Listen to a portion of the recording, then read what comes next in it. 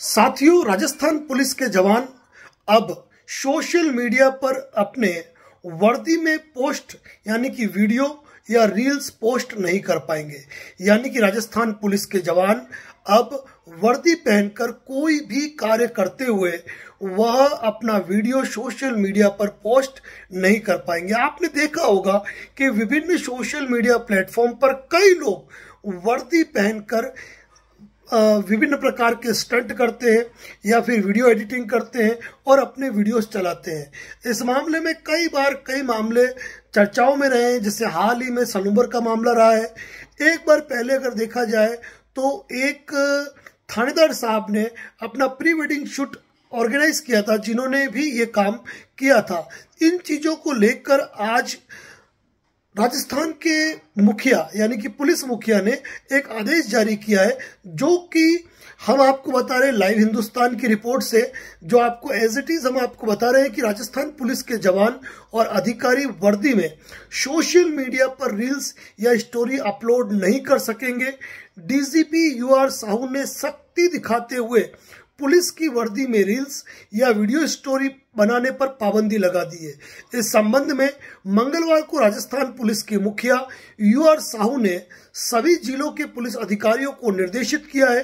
साहू के मुताबिक प्रदेश में सोशल मीडिया के विभिन्न प्लेटफॉर्म पर विभिन्न प्लेटफॉर्म पर वर्दी में गैर पुलिसिंग मुद्दों पर वीडियो, रील या स्टोरी अपलोड करने वाले पुलिसकर्मियों पर सख्त विभागीय कार्रवाई अमल में लाए जाने की बात कही है।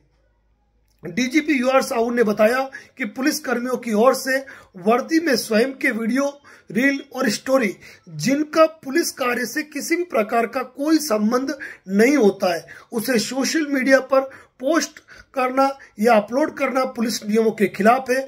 इससे पुलिस विभाग की गरिमा और छवि पर प्रतिकूल प्रभाव पड़ता है। डीजीपी यू आर साहू ने प्रदेश के सभी एसपी, कमांडेंट और अन्य पुलिस अधिकारियों को निर्देशित करते हुए कहा है कि भविष्य में किसी भी पुलिसकर्मी की ओर से सोशल मीडिया प्लेटफॉर्म पर पुलिस कार्य से संबंधित कार्य के अलावा अन्य किसी भी प्रकार के वीडियो, रील, स्टोरी आदि तैयार कर पोस्ट या अपलोड नहीं की जाए। नियंत्रक अधिकारी, इस प्रकार की पोस्ट करने वाले कार्मिकों के विरुद्ध सख्त कार्रवाई करना सुनिश्चित करें। डीजीपी ने पुलिस कर्मियों का आह्वान किया है कि पुलिस वर्दी में हमारी प्रतिबद्धता, समर्पण और जनता के प्रति हमारी जवाबदेही का प्रतीक है। इसका उपयोग करते हुए हमें अत्यधिक सावधानी और गंभीरता बरतनी चाहिए।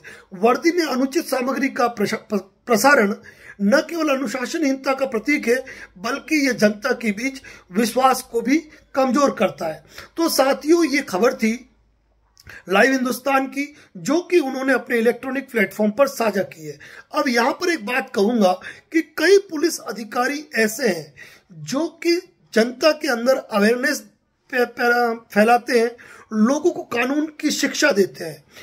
एक विवेकानंद जी करके ट्रैफ़िक पुलिस के अंदर है, जिनके वीडियो को पब्लिक द्वारा सराहा जाता है, यानी कि वह रोड सेफ्टी से संबंधित और ट्रैफ़िक रूल से संबंधित अपने वीडियो बनाते हैं।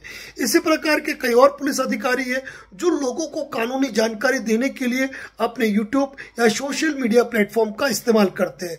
तो इस मामले के अंदर वह नहीं आएँगे। यहाँ कुल मिलाकर वह लोग आएँगे जो किसी भी रूप में अपनी वर्दी का दोष दिखाने के लिए या अपना प्रभाव दिखाने के लिए गैर पुलिसिंग मुद्दों के साथ अपने वीडियो बनाते हैं या फिर उन वीडियो का वास्तविकता से कोई लेना देना ही नहीं होता है।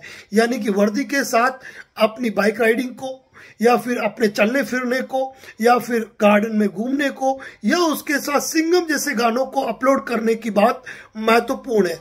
तो यह डीजीपी का आदेश आपको कैसा लगा, इस पर आप अपनी प्रतिक्रिया दे सकते हैं और जनहित में ऐसे संदेशों को ज़रूर शेयर करें ताकि कोई पुलिस अधिकारी गलती से भी इन चीज़ों का दुरुपयोग नहीं कर पाए, इस नियमों की अवहेलना नहीं कर पाए।